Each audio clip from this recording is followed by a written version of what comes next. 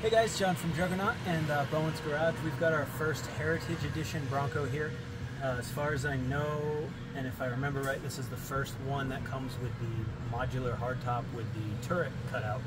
Um, originally it was supposed to be an option for 22, as we know that never happened. Uh, this is the first one I've seen in person. Uh, it's white painted, two-door obviously. So in here you can see the panel is out. Um, the latching system for it is uh, very much like what you guys are used to with the exception of this spring-loaded kind of safety clip for the pivot.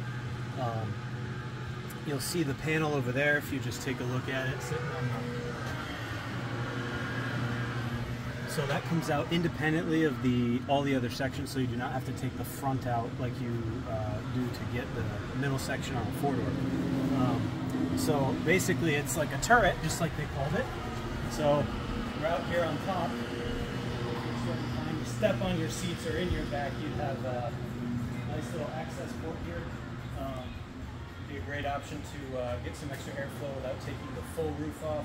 Great option for mounting a Gatling gun, something like that if you're interested.